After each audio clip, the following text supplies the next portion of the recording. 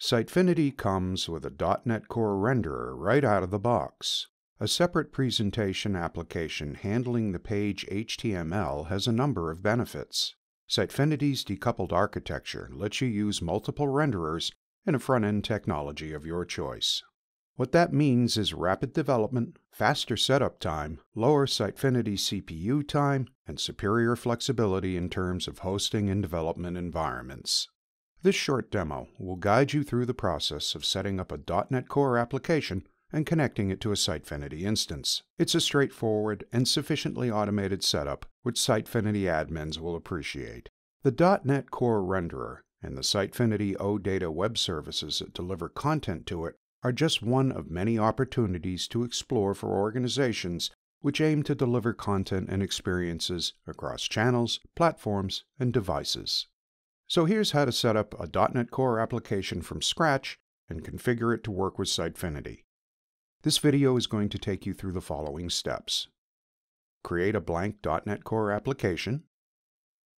Add the NuGet packages for Sitefinity, which contain the core logic and some out-of-the-box widgets, apply some necessary changes to the startup file, configure the application to use an already working Sitefinity instance. So let's get started. First, we create a new blank project.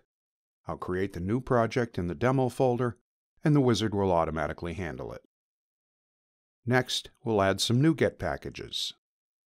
In this demo, they're being added from a local repository, but for you, they'll be available in the official Sitefinity NuGet server as well.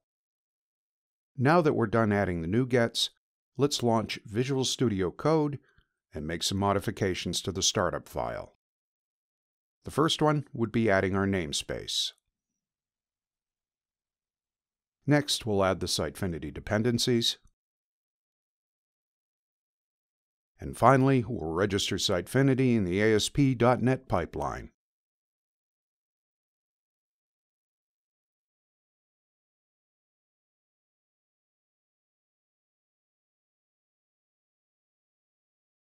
Okay, one last thing to do now is configure the remote Sitefinity instance to which the .NET Core application will be connecting. There's a simple configuration for this in the app settings JSON files, where we specify the remote URL of an already configured Sitefinity instance and the URL of an OData REST service with which the .NET Core renderer can communicate. Let's summarize the steps once again.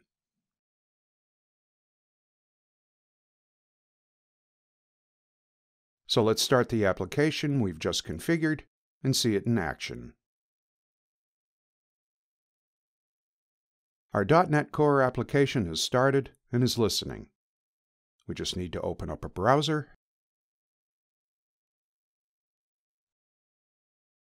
So at localhost 5001, we have the Hello World page here that comes with the blank .NET Core project.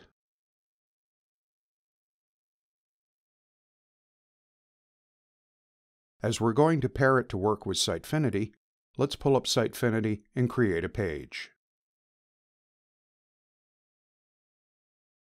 For the page title, we're going to use Hello World 2.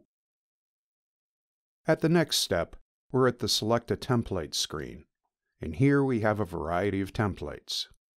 We're interested in the ones around the bottom, namely the .NET Core templates. Let's just pick the default one for the sake of this demo.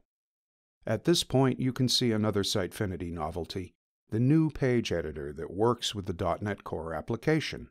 A click of the Add Widget Here button takes us to the widget selector, where we get to choose between layout and content widgets.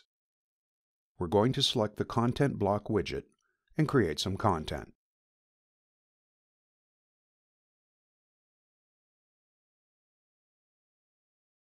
So here's our Hello World page which we can preview and publish.